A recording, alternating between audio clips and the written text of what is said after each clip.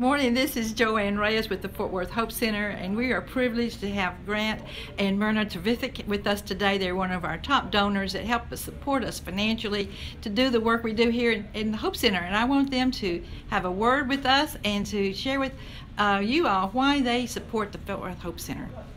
Thanks. Hey, Joanne, and uh, welcome. So my wife and I, about seven, eight years ago, came over here as an invitation to Joanne to talk about real estate because we are real estate investors. And in talking to Joanne, she gave me the tour of the facility, and probably it took me all about five minutes to get the vision of what she and Pastor Orlando are trying to do here. And not trying to do, but actually doing. What they have done is built an amazing facility, an amazing organization that provides food, clothes, uh, job training, and job placement for hundreds of thousands of families. So it starts with making sure that everybody gets enough to eat each and every day. They also have an extensive job training and a job placement facility so they can help people who are down on their luck, who are less fortunate, who have stumbled and fallen, to pick themselves back up and reintegrate back into society so that they can create a life that they're proud of, they're happy with, and that they can contribute and serve not only their family, but also community. So we love these two. We love the entire organization. We are deeply committed. We support them. And I got to tell you that each and every member of the Hope Center does an amazing, miraculous job. They walk in the sandals of Jesus and they really do his work each and every day. And uh, you have a lifelong supporter in not only us, but our company, Owner Finance Homes and Owner Finance Academy.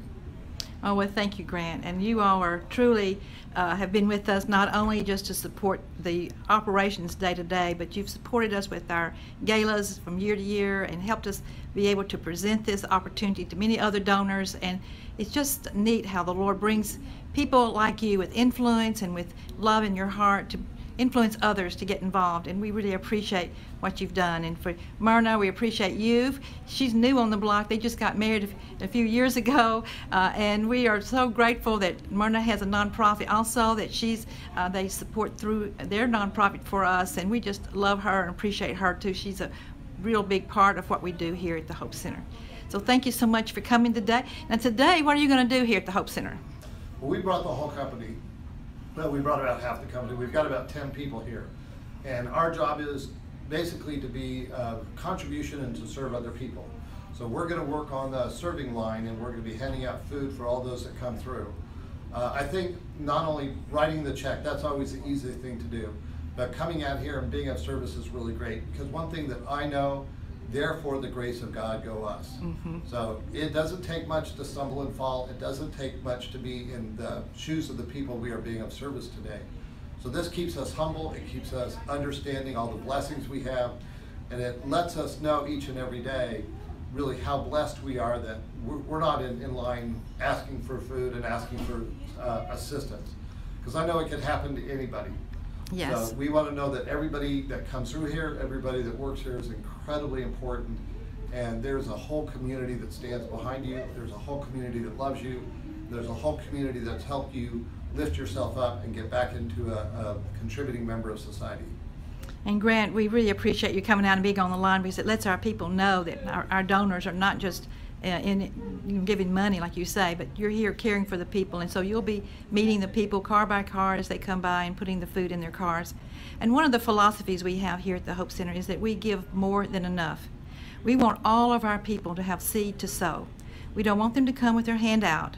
We want them to come with enough that they receive that they can give out to others and it really affects their feeling about themselves. It affects the whole community that we're uh, training people to be partners with the Hope Center and getting the food out to others.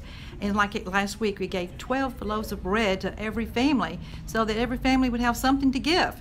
And we have that generosity uh, attitude here of giving more than enough, and it spills over to our people that they know they don't have to hoard their food. There's plenty of food. They can give it out and come back again to get more at another time.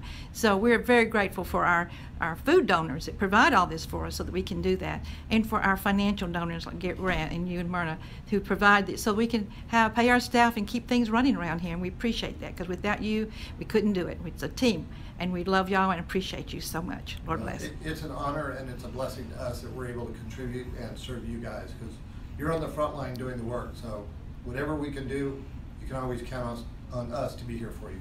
Well, thank you so much. Lord bless.